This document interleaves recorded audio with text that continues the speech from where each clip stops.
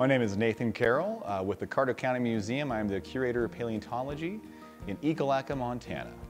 The Carter County Museum is unique in that it is Montana's first county museum. This is the first museum in the state of Montana to display dinosaurs. And that started off with this great duck-billed dinosaur uh, that's on display here. All of our exhibits here really come from about a 50 or so mile radius around Ekalaka. And that ranges from 40 foot mosasaurs that were swimming in the Western Interior Seaway to these 35 foot long duck-billed dinosaurs to hand-sized little raptors and birds.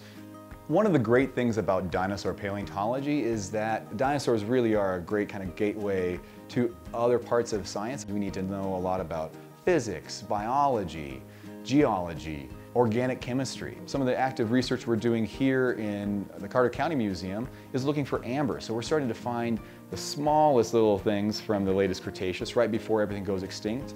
Little flies and gnats that would have been biting T-Rex back in the day.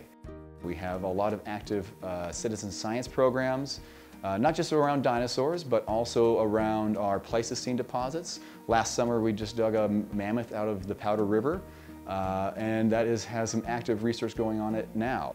Here at the Carter County Museum, we have a couple of really great digs, and one that the public can uh, sign up for is the Dino Shindig. This is an event where we bring in a bunch of paleontologists and gives talks throughout the day. The next day, we go out into the Hell Creek Formation or the Pierre Shale and take a group of about 50 or so people on an active dig. This is a dig that we've already identified some dinosaurs in, and we also then let them go prospecting to find new dinosaur discoveries. This is eastern Montana, so we don't really do any sort of shindig without a lot of food and dancing along the way. We also do a whole day of uh, uh, kids activities.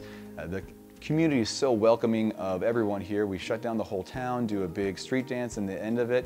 So this is a great event that combines landowners, uh, locals, uh, amateurs, and, and professional paleontologists. And it's really a collaborative event about working together and learning more about the landscape around us. The Carter County Museum, being the first dinosaur museum in the state of Montana, is a really great way to either start or end your experience on the Montana Dinosaur Trail.